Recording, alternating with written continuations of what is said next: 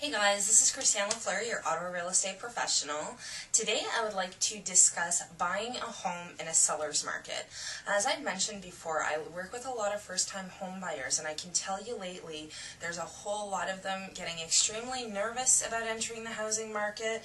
They're scared, um, they're getting disappointed if they're putting in offers and they're not coming out as the winning buyer. So I'd like to discuss a few ways that you can help make your offer that much more more um, stronger in the eyes of a seller, and just a few things too that you should do when you're looking at buying a home.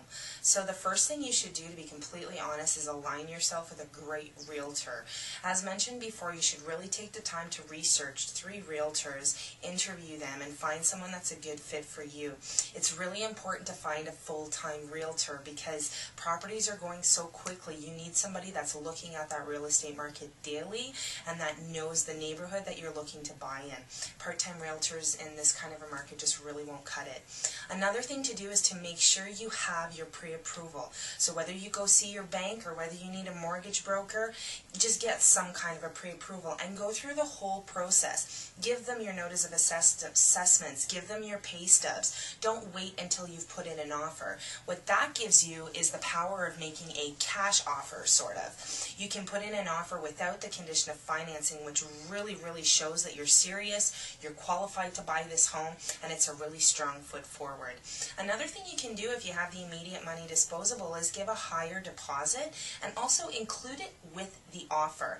If your realtor goes to present the offer with you, presenting your offer with an actual deposit check sometimes is also something that can really put you uh, or give you that extra foot forward.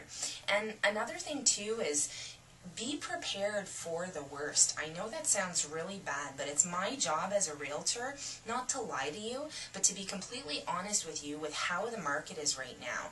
And I have to tell first-time buyers that you will be in competition.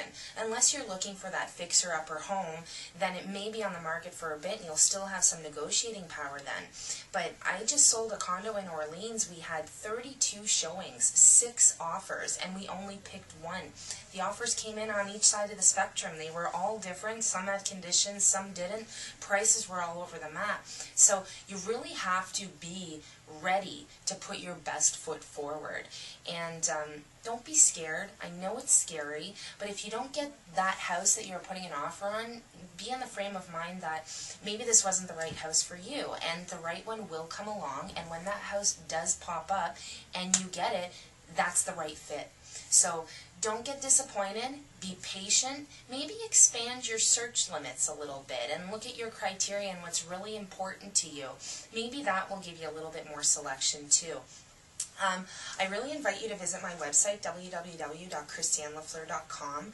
It has a lot of helpful tips for buying your first home and the steps you should follow when you decide to uh, enter the world of home ownership. Or you can always call me directly to 613-859-0809. I would love to take five, ten minutes and talk with you. If you have any questions or you're nervous, I'm always here to answer. Talk to you guys. Thank you so much. Bonne journée.